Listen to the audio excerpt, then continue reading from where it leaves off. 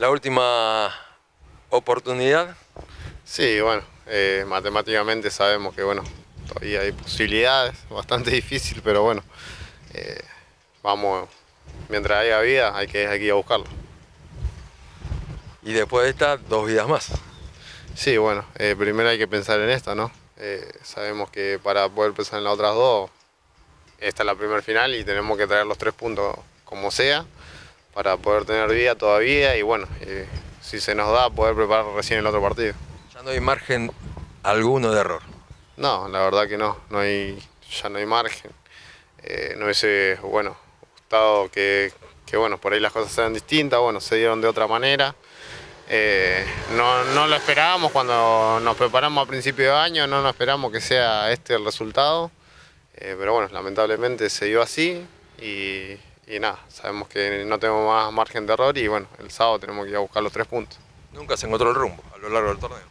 La verdad que no, bueno, eh, tuvimos varios cuerpos técnicos, ¿no? Eh, bueno, se trajeron refuerzos a mitad de año, pero bueno, así todo no, no, se pudo encontrar el rumbo, fue bastante difícil y, y nada, ahora no queda, bueno, jugar esta final y, y, bueno, y ver qué, qué sale de ahí.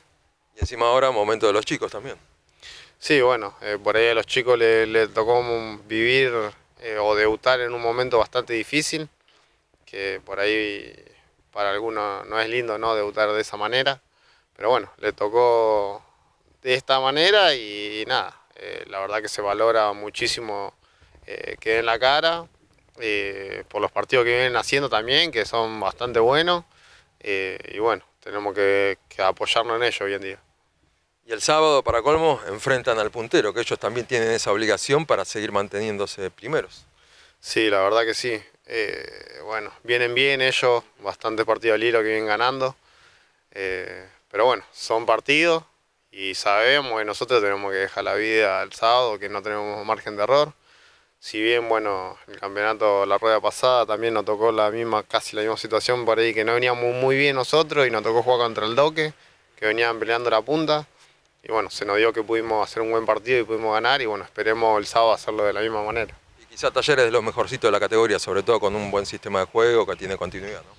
Sí, la verdad que sí. Eh, bueno, tienen varios chicos que juegan muy bien, bueno, de hecho, eh, dos de los chicos que, han estado acá, como Flor Duré y Ale Benítez, que, juegan muy bien, le dan un buen funcionamiento al equipo y, la verdad que, hay que contrarrestar eso, eh, va a ser bastante difícil también, pero bueno, hay que laburarlo para, poder sacar el partido adelante.